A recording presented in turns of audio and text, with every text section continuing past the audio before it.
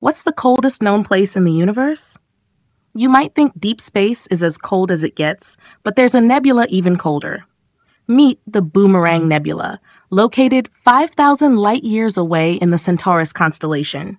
With a temperature of just 1 Kelvin, minus 272 degrees Celsius, it's even colder than the cosmic microwave background radiation, which sits at 2.7 Kelvin.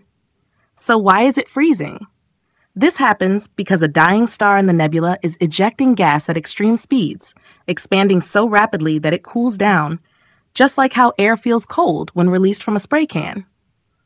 The Hubble Space Telescope first imaged its bow tie shape, but the ALMA radio telescope later revealed it's more of a bulging hourglass filled with cold molecular gas. Now, the James Webb Space Telescope is taking an even deeper look could this be a glimpse into how dying stars shape the universe?